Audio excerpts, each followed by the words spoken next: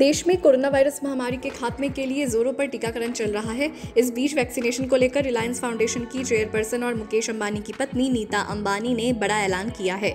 नीता अंबानी ने बयान जारी करके कहा है कि कंपनी रिलायंस के सभी कर्मचारियों और उनके परिवार वालों के वैक्सीनेशन का खर्चा वो खुद उठाएँगी। हम अब इस लड़ाई के आखिरी चरण में है, नीता अंबानी। नीता अंबानी ने बयान जारी कर कहा है, सभी के समर्थन से हम जल्दी इस महामारी को खत्म करेंगे, लेकिन तब तक सावधानी बरतते रहें। हम सब लड़ाई के आखिरी चरण पे हैं। हम जीतेंगे, उन्होंने कहा। मुकेश अंबानी और मैंने फैसला किया है कि हम रिलायंस के कर्मचारियों और उनके परिवार के सदस्यों को फ्री में वैक्सीन मुहैया कराएँगे। नीता अंबानी की कर्मचारियों से अपील। नीता अंबानी ने कर्मचारियों से अपील की कि जो लोग वैक्सीन लगवाना चाहते हैं, वो जल्द से जल्द वैक्सीन के लिए बने सरकारी पोर्टल पर रजिस्ट्रेशन कराएँ, ताकि जल्द से जल्द इस महामारी को पीछे छोड़ा जा सके। टीकाकरण का दूसरा चरण एक मार्च से शुरू हुआ है। देश की दूसरी सबसे बड़ी सूचना प्रौद्योगिकी कंपनी इन्फोसिस और प्रौद्योगिकी क्षेत्र की दिग्गज कंपनी एक्सेंचर भी भारत में अपने कर्मचारियों के कोरोना टीकाकरण की लागत का बोझ खुद वहन करेंगी।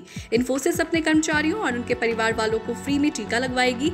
एक्सेंचर भी अपने कर्मचारियों के टीकाकरण का खर्च खुद उठाएगी। बता दें कि भारत में कोरोना टीकाकरण का काम काफ़ी तेज़ी से चल रहा है और आज गुरुवार तक 1.77 करोड़ लोगों को डोज दी जा चुकी है।